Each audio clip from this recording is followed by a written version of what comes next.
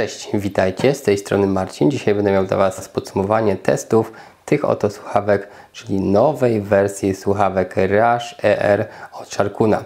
Dokładnie jest to model Sharkun Rush ER2, który zastępuje model pierwszy, którego recenzję też widzieliście na moim kanale jakiś czas temu. Tamte słuchawki e, były już dość modelem starym, e, dużo tańszym, bo w tej chwili kosztującym jakieś 60 parę złotych. Jeszcze można kupić czasami.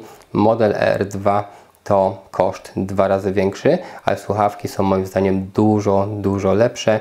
I tak jest to e, taka średnia półka cenowa, prawie że budżetowa, ponieważ na słuchawki za 120 zł stać większość graczy, nie jest to więc jakaś cena typu jakieś HyperXy kosztujące 300 do 500 zł, w zależności czy bierzemy pod uwagę nowszy model typu rewolwer czy starsze cloudy. W każdym razie Sharkun Rush ER2 prezentuje naprawdę wysoki poziom, dużo się dzisiaj o nich dowiecie i przy okazji taka informacja, że dostępne kolory to jak widzicie zielony, niebieski, są także czerwone oraz model, który kolorystyką bardzo przypomina poprzedniczki, czyli ER2, model biało-pomarańczowy. Tak więc to jest takie nawiązanie e, do tego klasyka.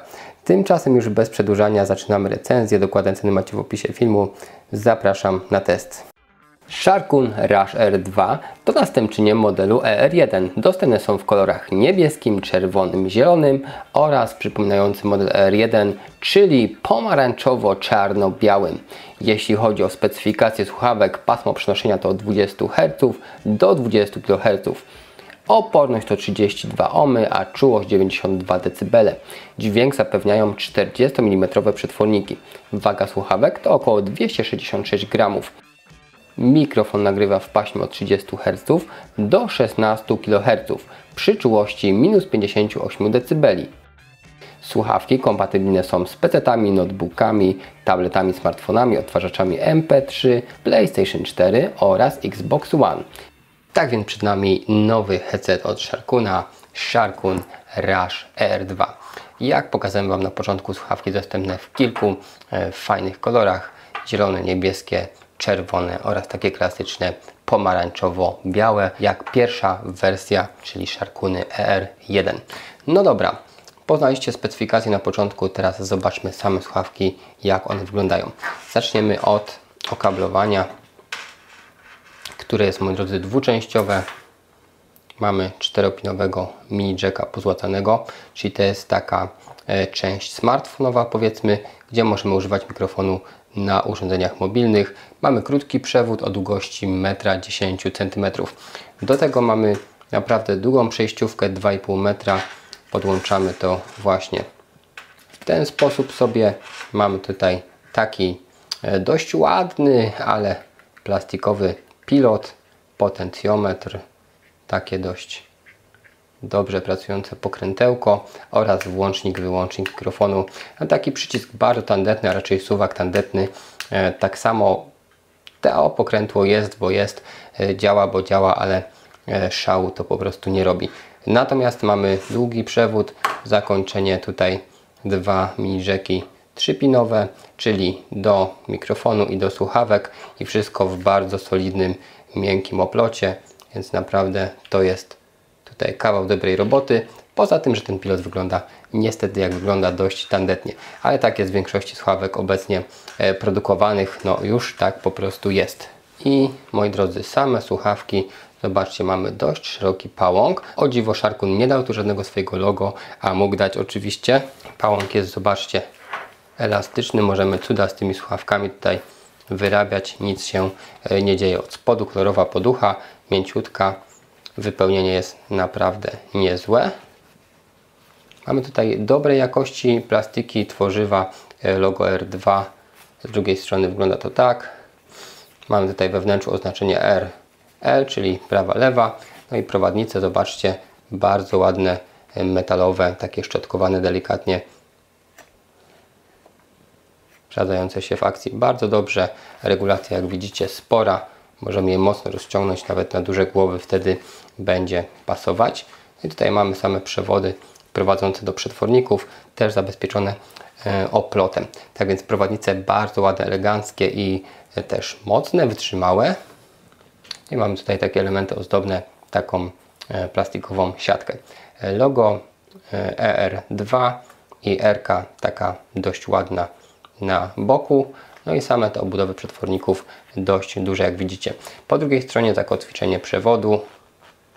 Powiem Wam, że nieźle to się trzyma, naprawdę ok.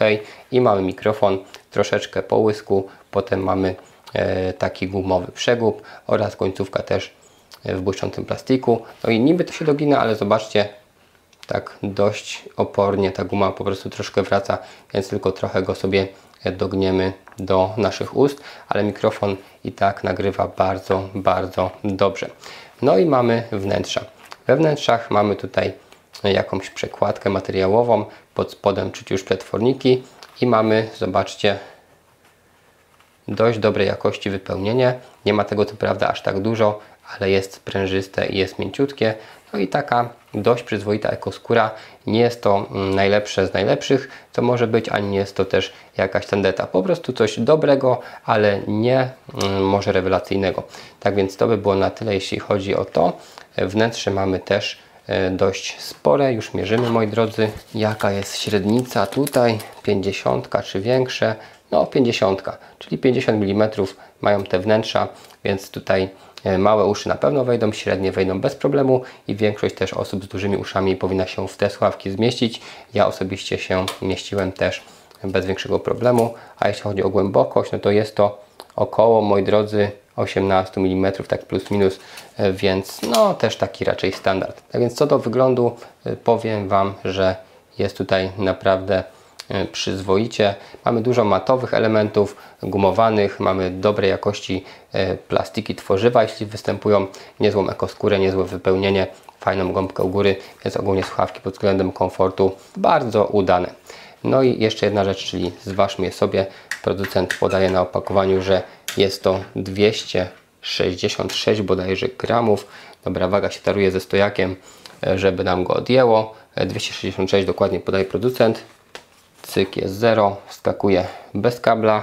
I zobaczcie, 265 e, tego grama możemy sobie tutaj wziąć jako błąd pomiarowy wagi, więc jak najbardziej ta waga jest tutaj podana dobrze i oznacza to, że po prostu są to słuchawki wagi średniej, a nie jakieś ciężkie kolosy ważące 300-350 gramów, ani też nie żadna konstrukcja super lekka. Po prostu takie średniej wielkości i średniej wagi, naprawdę dobrze wykonane, wygodne, funkcjonalne słuchawki. Ok, moi drodzy, jeszcze jedna ważna część każdego testu słuchawek dla graczy, czyli test mikrofonu na żywo. Bierzemy jedne R2, zakładam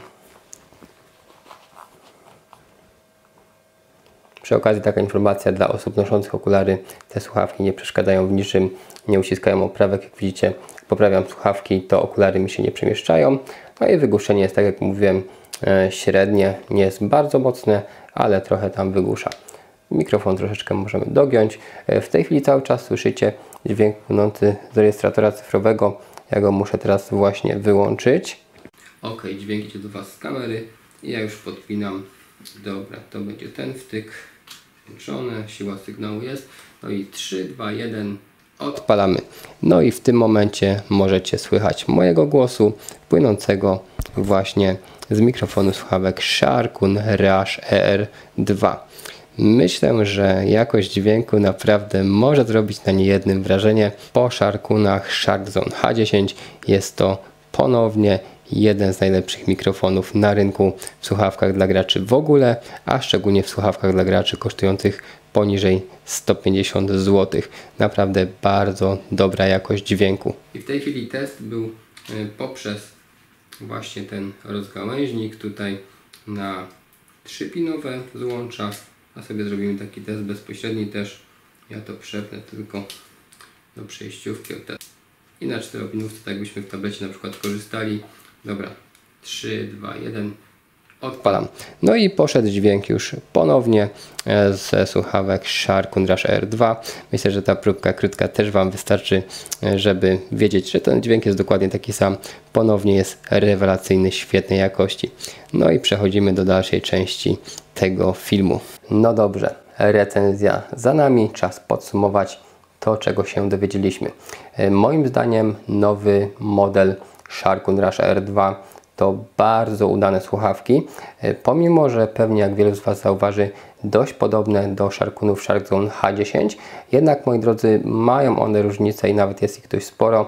Myślę, że to jest materiał na osobny film typu porównanie, też rodzaj filmów, e, który lubicie. W każdym razie czerpią one z H10 wszystko, co było najlepsze, plus właśnie mamy e, kilka ciekawych ulepszeń, urozmaiceń. Dlatego nieważne, czy potraktujecie jako następczynię R1, czy jako ulepszone Sharkuny H10, są to słuchawki naprawdę bardzo dobre. Dlaczego? Ponieważ nie kosztują majątku, kosztują około 120 zł, za jakiś czas pewnie będą jeszcze tańsze. Po drugie mają niesamowicie dobry mikrofon, podobnie jak H10. Po trzecie są po prostu ładne, mają ładny design, są dostępne w kilku fajnych kolorach. Po czwarte mamy okablowanie z przejściówkami i do smartfonów, e, i do PC-a, tak więc full wypas, przewód w ładnym, trwałym oplocie. Kolejna rzecz to e, wielkość nauszników, są dość duże, większość uszu powinny się zmieścić poza bardzo dużymi, moje duże uszy nawet się mieściły bez problemu, e, więc to jest dobre. No i te słuchawki są też dość lekkie i dość wygodne, uszy się nie pocą, można naprawdę w nich ładnych parę godzin posiedzieć, pograć, nic się złego nie dzieje. Natomiast co do wygłuszenia, no jest ono przeciętne. Wygłuszają oczywiście, ale nie jakoś tak, że mamy w słuchawkach grobową ciszę. No i ostatnia rzecz najważniejsza, czyli jakość dźwięku. Tutaj, moi drodzy, e, nie są to słuchawki audiofilskie dla melomanów, e, dla lubiących muzykę w najwyższym e, wydaniu po prostu. Jeśli chodzi o muzykę klasyczną, to tutaj górne pasma nie dawały rady do końca. Bardziej był tutaj dość potężny, ale jednak środek na pierwszym planie Szczegółowość była niezła, ale bez przesady. Więc do muzyki klasycznej się nie nadają e, za bardzo, do muzyki rozrywkowej e, lepiej troszeczkę, niezłe wokale, mocny bas i całe te ścieżki też takie dość e, czyste, dość wyraźne, ale też nie jest to jeszcze to, czego byśmy od słuchawek typowo audio oczekiwali, ale oczywiście to nie są słuchawki audio do słuchania muzyki, tylko generalnie do grania.